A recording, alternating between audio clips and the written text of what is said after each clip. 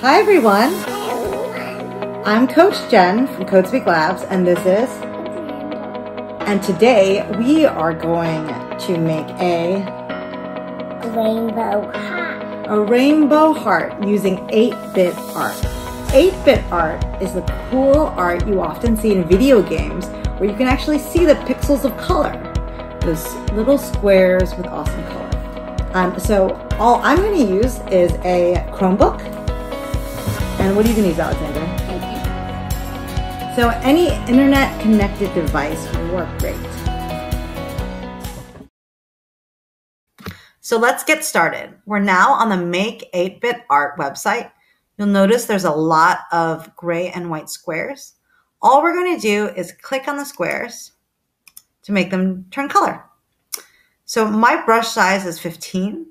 If you're younger and you want big squares, you can go ahead and change this number. So Alexander is working with brush size 33. Um, I'll go ahead and stick to 15. And I'm on a Chromebook. So I'm just going to click on each square. If you're on an iPad, you can go ahead and just tap on each one. And just like I draw um, a regular heart on paper, I'm going to go ahead and start from the middle top, and then I'm just going to draw out all the way to the bottom. So I drew two, one, three, one, one, four. You don't have to do yours exactly like mine. It's really up to you. It's your own artistic creation. So whatever you think looks good is great. I'm going to make sure the top part of my heart and the bottom part of my heart are matched up.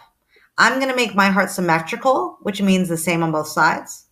Um, if you don't, that's totally fine too. And if you ever make a mistake, you can always click undo. And then if you change your mind again, you want to do um, move it back, just click redo. Okay, now I'm going to go back at the top and continue. And actually using this 8-bit art tool, in some ways it's even easier to be precise compared to when you're just drawing freehand. Because you can really evenly look at each of the squares of color that you're filling in. So now that I have my outline, I'm going to fill it with color. If you need more time, go ahead and pause the video. If you're racing ahead, you can move faster than me. So you'll notice these are all the colors you have to choose from. I'm going to click on red.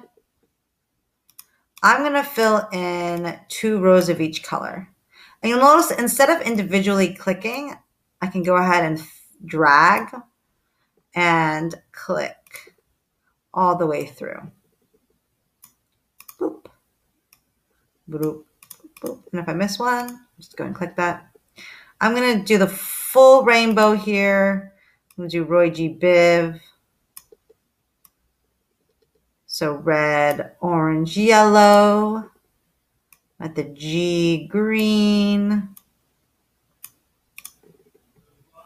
And make the blue.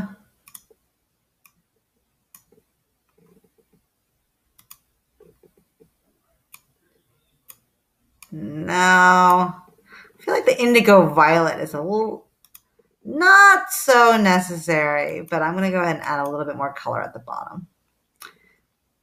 Now I'm going to change to white.